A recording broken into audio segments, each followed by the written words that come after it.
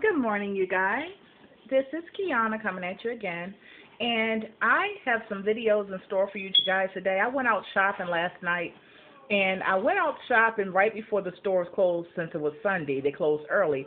But I got some really, really nice things, you guys. I mean, really nice. And, um, yeah, so I'm going to share them with you guys in a few, about a half an hour. Um, it's around 10 o'clock. But I haven't been cooking that much for the family, um, only because of, you know, redoing the house and redecorating, which I have to start the living room today.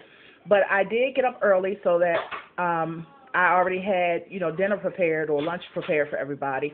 Um, because I am starting redoing the living room today, so tune into that, you guys, as well. And I made um, some spaghetti with um, some Italian sausage as well as ground turkey and um, put some seasonings and some spices and stuff like that in green pepper, onion, uh, red pepper, with a garden salad and garlic breadsticks.